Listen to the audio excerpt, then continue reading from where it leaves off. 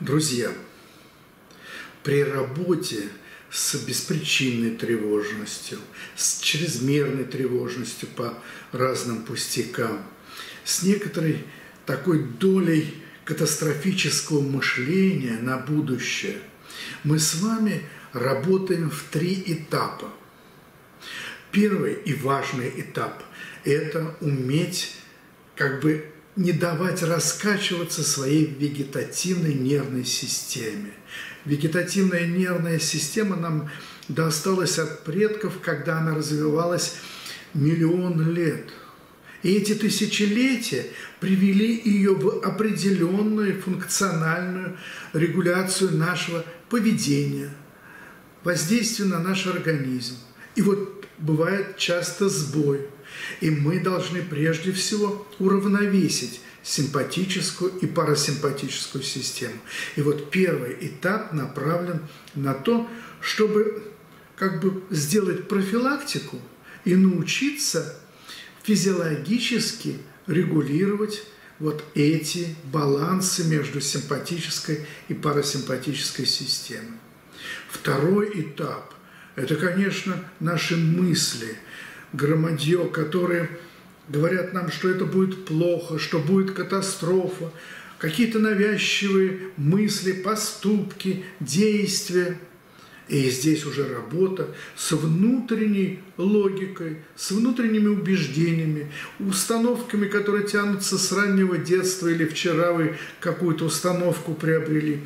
И вот здесь работа с нашим в основном левым полушарием. Если мы там занимались в первом этапе в основном правым полушарием, но не забывали про другое полушарие, то здесь в основном левое полушарие. И Третий этап – это наша социальная адаптация, это постановка целей, потому что человек не может жить бесцельно. И вот когда мы с вами поставим цели, проложим лоцию направления на нашей когнитивной карте мира, то тогда, тогда вы будете цельной личностью, которая имеет свой характер – прикладывает волю, упорство в конце концов и прокладывает свою жизнь. И качество жизни вашей изменится. Вот здесь, вот на третьем этапе, вы найдете себя как личность. Итак, три этапа. Первый этап – это работа с вегетатикой, в основном правое полушарие.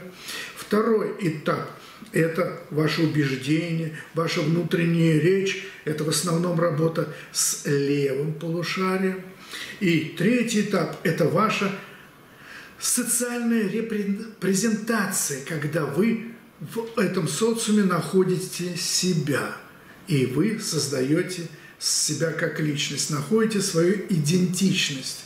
Вот эти три этапа, конечно, там многое перемешано, нельзя, вот как говорится, варить три отдельных кастрюли. Это один и тот же процесс, который происходит с вами – как говорится, в одной кастрюле. Но вот так можно разделить вот на такие три этапа. Поэтому давайте не забегать вперед, не суетиться, а действовать. И когда вы пройдете все эти три этапа, вы себя не узнаете. Вы скажете, о, я чемпион.